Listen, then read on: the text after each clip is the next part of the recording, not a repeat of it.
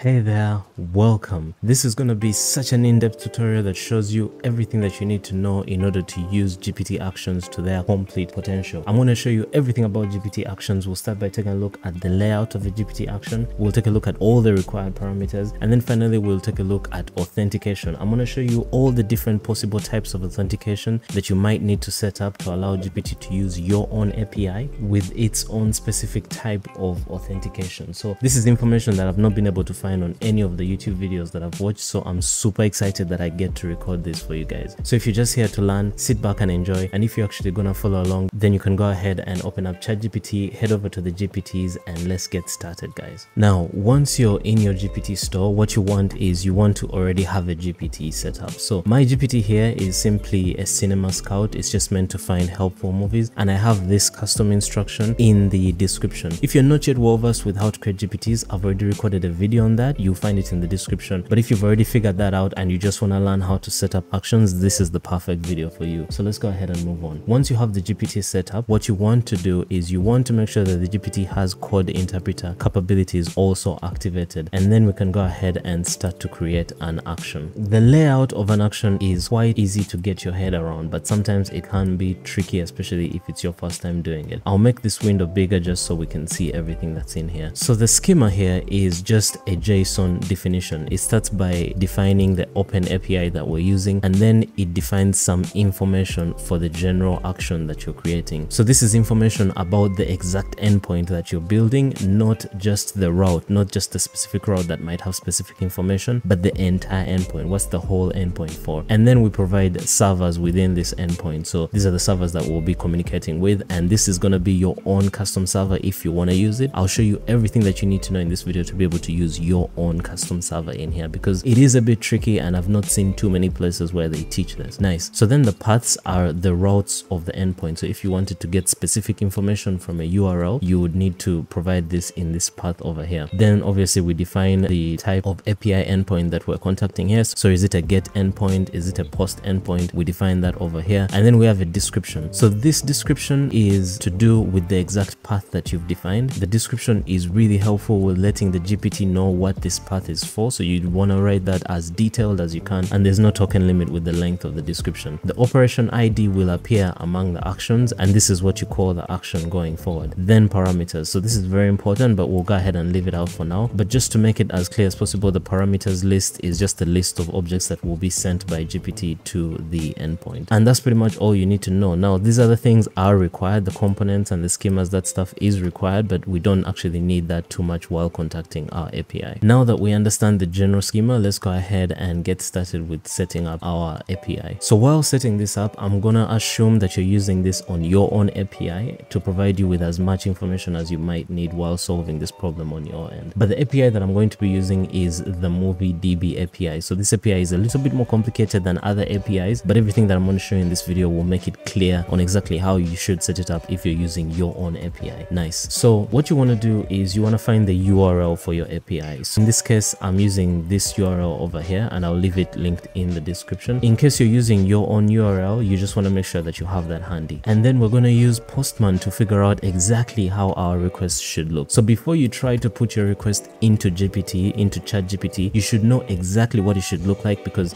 the things in chat gpt can get a little bit confusing particularly when the model keeps failing. So before you put it in there just make sure you use postman to figure out exactly how your request should look. So this is the link that i'm using for my endpoint and you can see clearly the URL is this URL followed by this particular route which helps me to get the trending movies for today. Perfect. Now the URL is actually followed by a parameters option which will contain my API key and this API key is required in this exact format. Other API keys are required in other formats and I'm going to visit all formats in this video but this particular API key is required as a parameter that is included within the URL and this is the value so this is my own API key. If you're following along, make sure you get your own API key from the movie database or an API key from any interface that you're using. Now, once you've figured out exactly how your request should look, try it in Postman. So for me, I'm going to send my request and you can see I actually get back a valid reply. Now, for other endpoints, the authorization might be handled in headers or inside an authorization list like this one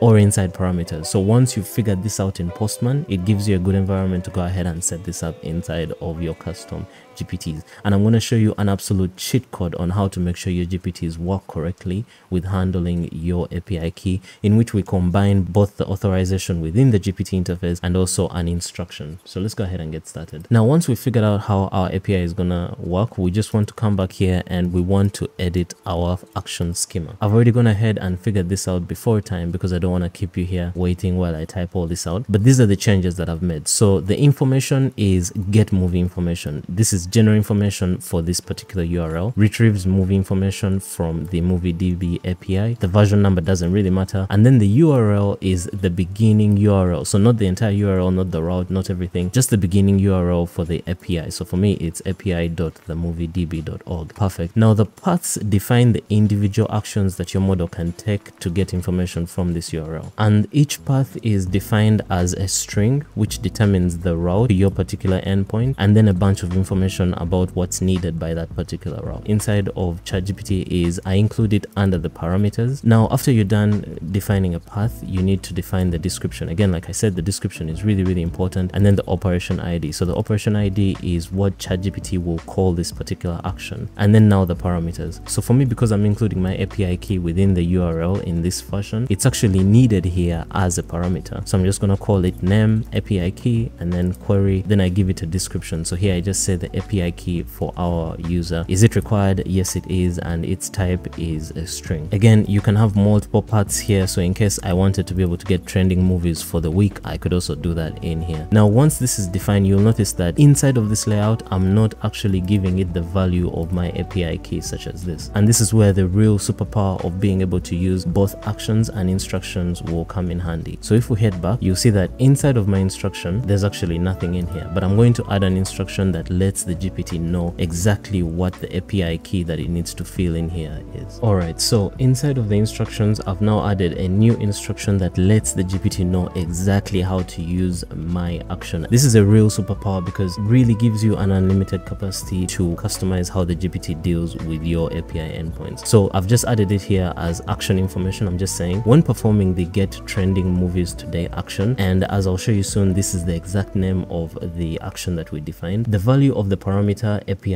underscore key is, and then I specify my API, and then I go ahead to let it know that it should always use this as the value for that parameter, and the user should never be able to make it change what this parameter is. So this is just in case a user tried to say, well, use this as the API key. Now, because I've let the model know, it will never actually allow that to be changed. I'm gonna go ahead and close that. And so back here in our actions, we can actually see that the action is called get trending movies today. That's perfect. So it will be able to refer to it. And then inside the API key here, as we saw earlier, I've not specified a default value, but it will always know how to use it as that value. So that's how you authenticate if you're using an API key that is included in the URL like this. But there's other authentication types that you might need to deal with for your own API. So let's go ahead and look at those. So at the bottom here, there's the authentication item here, and I'm just gonna go ahead and click edit. And the first authentication type they have is an API key. So this API key, whether it contains a bearer or it's just a custom API key, is the API key that is going to be used if you need to include your authentication within your headers. So you can see here inside of the headers, I've, I've included a value here called authorization, and then its value is bearer, and then a space, and then a long number here indicating the bearer of this particular request. And so if that's how your request looks in Postman, then that's when you want to use this. And as you can see here, you're just specifying the API key. And if you're using a bearer, then you use a bearer in that case. Now, OAuth again is for other authentication types. And this is probably if you're using something like Google Firebase, you might need to use this. And again, you just want to enter your information here and ChatGPT will be able to correctly authenticate. But for me, because my API key is directly included within the URL, I'm just going to leave it to none and then I'll go ahead and save. And those are all the authentication types that you might want to use. So you just need to find out which authentication type you have. You primarily again do this in Postman, like I've said. And then once you have it set up, you come here and you use the action definition and also use the instruction to make sure that your GPT gets this right every single time. There's no way to fail with this technique. And so now we're to go back. So once we're done, now we can go ahead and test out my API. So I'm just to ask it a basic question. I'm just to say, what's a popular movie for a group night out? So I'm to send that. And now it's taking its time to reply. And you can see it's already, it's immediately now talking to my API. It just wants me to confirm that I want to send that information. I will send it and it successfully talked to it. So the API replies with 10 currently trending movies and then the model is to go ahead and modify its reply and give me some something that's relevant to me. Let's take a look though at the API request that it's made. So you can see in the API request that it's made, it's included the API key directly within the URL and it's actually specified the API key that I told it to use. And so that's why it's able to actually get a reply from this API. Otherwise, this would have actually failed. So this has been a very in-depth look into how to set up ChatGPT actions. Hopefully this helps you with sorting out authorization on your own API. This is one of the trickier things. And if you actually did enjoy this video, make sure you guys hit the subscribe button so you don't miss out on future videos. I will catch you soon. Hope you have a great time. Peace out.